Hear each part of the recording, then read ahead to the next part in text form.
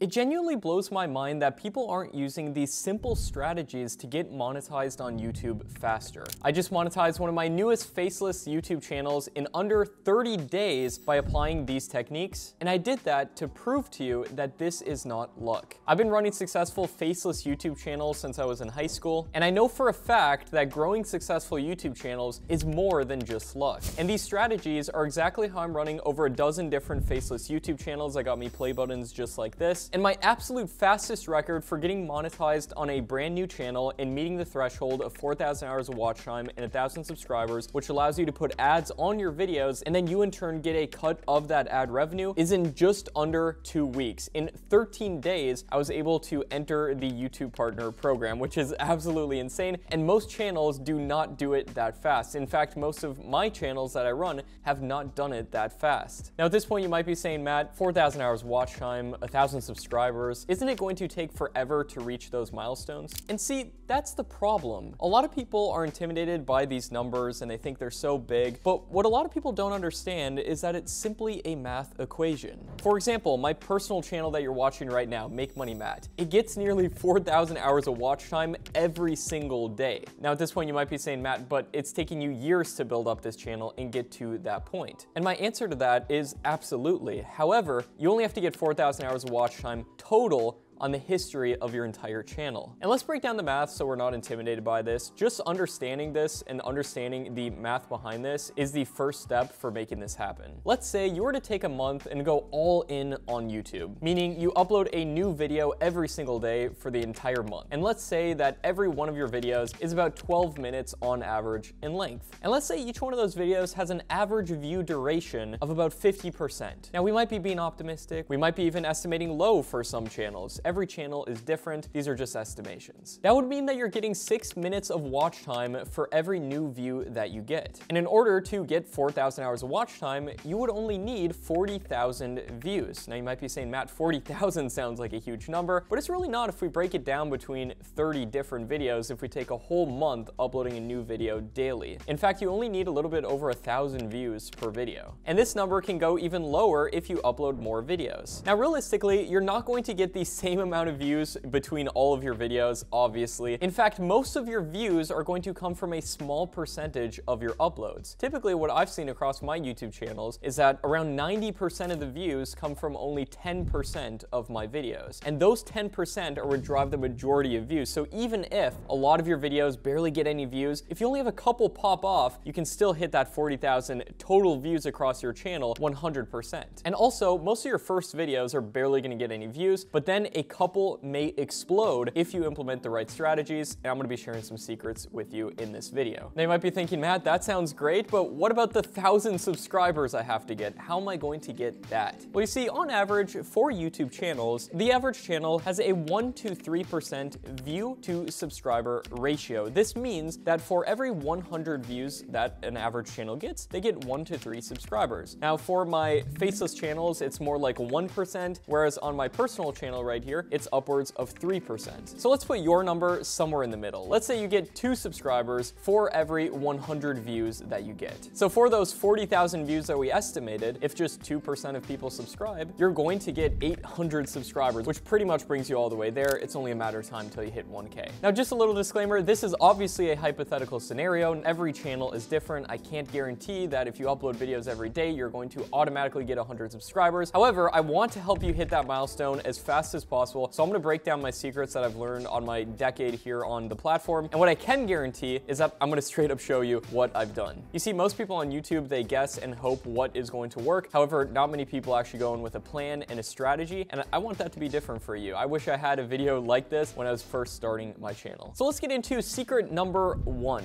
You see, a common mistake that a lot of YouTubers make when they're first starting on the platform is guessing what is going to work and what's not. And you can't really blame them because they just don't know. And I personally was the exact same way. But a huge advantage that you can have if you're just starting a channel is to just not guess. Literally just take inspiration and model what has already worked on YouTube. And if you see multiple videos on a certain subject that you're thinking about doing getting over 100,000 views, then check that box. That could be an incredible video to model. And this may seem trivial, but this is actually how you get monetized on YouTube fast. Now let's get into secret number two. And this is something not a lot of people think about, and it's a little bit outside the box, but trust me, this works amazing. Once you find a few good video ideas on some different channels, consider combining them into a single video. Let me explain. For example, on my personal channel you're watching right here, my two top videos are the laziest way to make money online, and then also how to make money on YouTube without making videos. Those are my two top videos. So if we combined them, what would that title look like? Well, if we do some thinking here, we could do a title similar to laziest way to make money on YouTube without making videos. So we're taking two aspects that have already worked. If they're within a single niche, this could be a match made in heaven. And you can take inspiration from already viral YouTube channels. So let's say you're starting a faceless YouTube channel, like a lot of my audience is. And let's say you're going into the travel retirement niche, which helps people figure out which countries are the best to retire in. And as you can see, this channel right here called Scary Harry does exactly this. Gets a ton of views, by the way, doing this. And let's say we wanted to implement this technique of combining two already popular videos. What you can essentially do is take a look at a few of these videos, like if we're going through here. As you can see, one of the videos is 10 easiest countries to retire comfortably, and another top video is 15 safest countries to live. So what if we combine them and we did 15 safest countries to retire comfortably, right? So I just want to show that this concept works for all types of channels, for evergreen content, and if you're combining topics within a single niche. However, you can even look outside of your niche to see what types of videos are working, and hopefully you can get some more ideas from that. Now let's get into secret number three, which is if you see titles, thumbnails, and topics working well on other people's channels, they could potentially do really well for you also. For example, if you see that within your niche, there's a lot of text in thumbnails, or the contrary, if you see that faces in thumbnails seem to do good within your niche, make sure to model that and double down on what works and cut out what doesn't. Now you're probably asking, Matt, if I do all this and model what works, how is my video gonna stand out? Isn't it gonna just be one among thousands of other videos out there on YouTube that are the exact same? And the answer to why people would watch your video over other people's is value. And here's how you can make your videos more valuable. And this will in turn help you get monetized way faster as well, because at the end of the day, the algorithm is literally just a reflection of people watching it to a large degree. And it's pretty easy in theory to make your videos very valuable, and here's how you do it. What you do is open up three of the top videos within the topic that you're thinking about, and then watch through each video. Sometimes I like to do this at 2x speed, and write down all the top points from all three of the top videos. And then incorporate these points into the scripts in your videos, and you will give 10 times the amount of value as any one of those videos because it'll all be in one for your desired end audience. Another great strategy is to go into the comments section of those videos, see what questions people have, any additional comments or concerns or anything like that, and make sure to answer those or include those within the video to give that additional value. So that will make your video stand out a lot more. All we're really modeling is, for example, the packaging of the video and the video idea itself, but our video will stand out by a ton if we implement this secret that I just shared with you. And when I'm saying value, I'm not just talking about how-to content either. Value can be either educational or entertainment value. Both of those are value propositions. Now, secret number four is to upload 30 to 60 videos on your channel. I recommend posting minimum once per week on your channel in the beginning. And if you can, upload three to five times per week. And if you really want to take this seriously, you can do daily content if you can produce valuable content as well. Now, secret number five is to make sure that your content is monetizable. Because our worst case scenario is uploading tons of content to YouTube just to find out you can't even monetize it in the first place. So what types of content can't you monetize? This is typically content like TikTok compilations or YouTube compilations where you don't change anything else in the video and you're just re-uploading sports clips or something like that. These can be things that advertisers may not want to put their videos on as well. And I go way more into this in my YouTube course, Tube Mastery and Monetization, but essentially my checklist for making sure that your videos can get monetized is the following. Number one, follow YouTube's fair use policy. Number two, make sure to have a human voiceover or a very realistic voiceover within your video. Number three, make sure your content is transformative. And this in part means giving additional value in the form of your commentary on that video and making it suitable for a different market than the original video was intended for. And I'm not a lawyer, so this obviously isn't legal advice, but this is my understanding of it. And now secret number six, which will help your videos explode and get monetized way faster, is taking one of the juiciest, best parts of your video and putting it at the very beginning of your video in order to hook people and get their attention. This is especially applicable applicable if you're doing entertainment-based faceless content. And another thing you can do is mention how at the end of the video, there's this extra hidden value that will make them want to watch through to the end of that video. For example, if you're making a video about the top 10 fastest cars, you might want to say something like, and just wait for number two and especially number one. These are cars you may not even believe exist. Sneak peeks like this build suspense and improve audience retention. And for example, if a video has a 75% audience retention rate at the beginning of the video and 50% or more in the middle, it's very likely to go viral across many niches. Obviously, every niche is different and every circumstance is different, but these are the averages that I found after uploading hundreds of videos with over a million views each. And another thing you can do is ask a question towards the beginning of your video that then you immediately answer, and then another question rises up and you answer that one right after that, which is kind of what I'm doing with this video. And essentially the way of structuring these videos really just provides the end viewer with more value. And that's what we're trying to do at the end of the day. If people want to be entertained, you hook them and then you give them a payoff. If people want to learn something, you ask questions that they're going to want to know about and you invoke curiosity and then you answer those questions and then ask the next logical question and then answer that. So you're giving people value along the way and also building up to a bigger payoff in the end. Like for this video, for example, your big payoff will be to get your channel monetized or get another one of your channels monetized. And the reason this is important for getting your channels monetized is that if people watch your videos longer, they do better in the algorithm and you'll hit those milestones faster.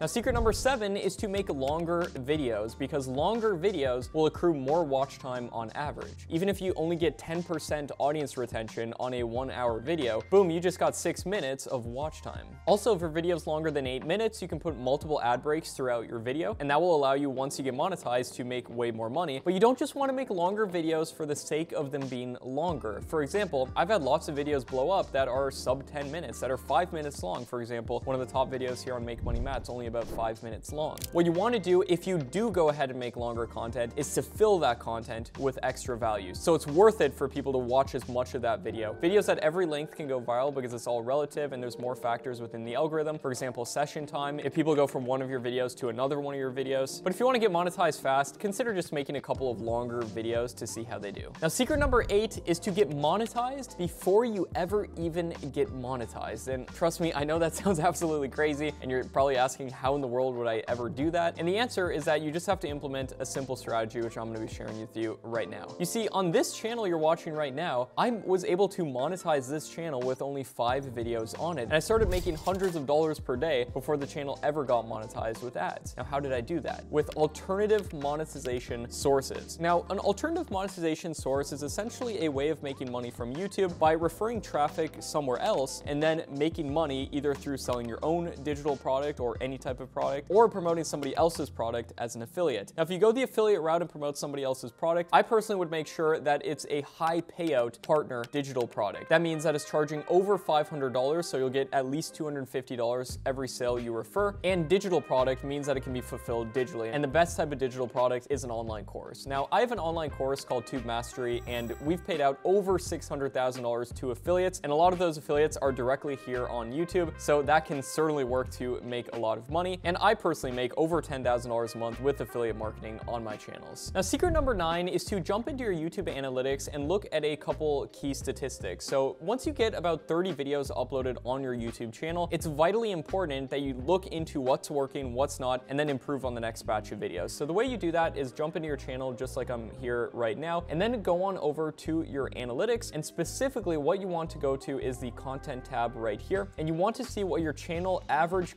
click-through rate is. This is what percent of people click to watch your video as opposed to all the other videos out there that they come across. And you want to make note of your channel's average click-through rate. Mine right here is 5.7%. Then on every new video that you upload, if you go to your content tab right here and then go down to looking at an individual video, for example, this one, and then click the analytics button under that video, then what you want to see is what percent of people click to watch your video. For example, this one is 8.4%. So this tells us that this thumbnail is a higher than average click-through rate for our channel, so we're going to keep it. But if you upload videos that have lower than your channel's average percent, then what you want to do is design a new thumbnail, modeling what's already working on YouTube, and then throwing that thumbnail on that video that you already have uploaded, and sometimes you can help explode videos doing that. And next up, if you go back to your content tab right here and scroll down, you can see key moments for audience retention. So take notes of what's keeping people's attention, what's making retention go up and down. And if you go to your audience tab right here, you can see when your viewers are on YouTube so you know when to post videos. So for me, that'd be about 10 a.m. in the time zone that I'm in. You can see what other videos that your audience is watching to give you more video ideas, and those are the key statistics to look at. And now secret number 10 is to follow this action checklist I'm gonna give you. Pick a niche that's been proven to work on YouTube, post at least 30 videos to your channel, and stay consistent with an upload schedule. You can even schedule uploads directly within your YouTube studio if you want. Research and analyze the data from those 30 videos to map out your next 30 videos. Come up with some alternative monetization methods and make sure you're within a niche that can do that. The best ones are typically health,